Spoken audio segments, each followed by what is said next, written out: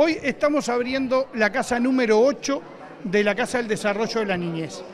Estas casas tienen la, noble función de poder atender con equipos multidisciplinarios. Eso quiere decir que atendemos en forma completa a los niños de ACE con maestras especializadas, psicomotricista, fonoaudiólogo, eh, eh, psiquiatra, psiquiatra infantil, psicología, neuropediatría, pediatras especializados en el desarrollo, para corregir todas esas alteraciones del desarrollo o el aprendizaje que tienen nuestros usuarios, nuestros niños, que antiguamente no se les resolvían. ACE siempre tuvo el problema de que siempre hizo mucho diagnóstico, pero tenía poca capacidad para, para poder realizar tratamientos efectivos.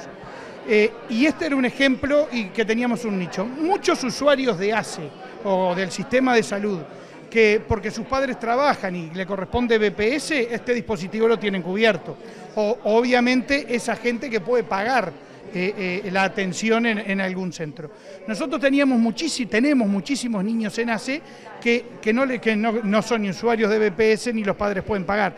Y esos niños solo quedaban con un diagnóstico y no se les realizaba el tratamiento, que es lo que hoy estamos nosotros eh, realizando con esta, esta es la octava. Ya tenemos desde que empezamos con estas casas que hace más de tres años, ya tenemos más de 55 mil niños que pasaron por las casas del desarrollo y más de 5 mil niños en tratamiento y en tratamientos efectivos con un nivel de resolución muy alto. Esto es algo que nosotros consideramos fundamental. Eh, eh, siempre se dice que el niño es el futuro, el niño es el futuro y el niño es el presente. El futuro porque ni hablar, este tipo de dispositivos ayudan eh, a combatir hasta los niveles de pobreza hoy o mañana en un futuro. Nosotros tenemos que pensar que el niño con una alteración en el desarrollo o el problema en el aprendizaje se corrige el niño empieza a tener otras estrategias de cómo poderlo vencer y hoy y, puede llegar a ser un adulto eh, obviamente muy productivo. Eh, nosotros ya eh, el día de mañana tenemos otra inauguración que va a ser a nivel de ciudades de la costa. Hemos empezado y acá se hizo un trabajo muy organizado y se estudió todo el territorio. Tuvimos mucho apoyo de, del OPP eh, eh, para poder realizar eh, los estudios y también para irnos evaluando mediante auditorías que, han demostrado, y entre tantas cosas, el lugar donde nosotros las vamos a ubicar. Nosotros ya empezamos en Artigas, Rivera, Salto, ahora tenemos aquí en Melo, y después tenemos Paysandú, que está en breve a quedar funcionando, tenemos Las Piedras, tenemos La Paz, tenemos Cerro.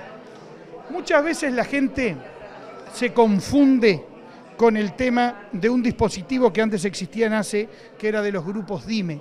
Pero esos grupos estaban dirigidos para niños con patología psiquiátrica, que tenían que tener algún problema de salud mental y ahí se los atendía. Eso causaba que esos grupos DIME, que nosotros los hemos incorporado, eh, los hemos sacado como tal, pero no han perdido su atención, sino que lo hemos incorporado a la atención de estos dispositivos, porque esos grupos atendían muy poca gente. Diez años el grupo Dime del Cerro yo creo que atendió 200 niños, 200 niños en 10 años. Eh, el de Colonia Nicolich, 50 eh, niños, 40 niños. Nosotros en menos de 3 años ya pasaron 50.000, más de 55.000. Eh, el objetivo es que ese grupo Dime ahora se atiende de la misma manera en este, pero acá lo que se hizo es ampliar muchísimo la atención para todo el resto que lo esté necesitando. En su alocución usted hacía mención que el objetivo era, al fin de esta administración, tener 13 centros eh, habilitados. Eh, y que en las principales ciudades deberían tener uno de estos centros. Eh, el próximo entonces es Ciudad de la Costa. El próximo que estamos inaugurando ya el día de mañana es Ciudad de la Costa. Eh, nos falta ahora, eh, estamos por poner Durazno en funcionamiento, en Montevideo viene otra serie de casas y en la ciudad de Pando. Esas son las casas que nos quedan del desarrollo de la niñez para, para terminar de, poner en funcionamiento en estos meses, porque ya estamos poniéndola eh, en, funcionamiento en estos meses. Y sí, y esto es una política que por el resultado que viene teniendo estamos convencidos de que cualquier directorio que entre, y sabemos que va a tener que apoyarlo toda la clase política en este aspecto, esto es un dispositivo que hay que lograr el poder ubicar una por ciudad, por ciudad grande, poderlas tener descentralizadas. Y es factible. A mí se me puede decir el tema del recurso humano. Hoy en día hay recurso humano de telemedicina, muchísimo que podemos llevar adelante. Hay mucho profesional muy comprometido y dedicado a esto, eh, eh, en el cual sabemos que, es un objetivo que, los próximos directorios de ACE tienen que ir marcando, porque el impacto sanitario que esto tiene, el impacto sanitario, social, eh, es, es, muy importante y es la manera que nosotros podemos estar resolviendo la vida de ese niño para cuando sea adulto.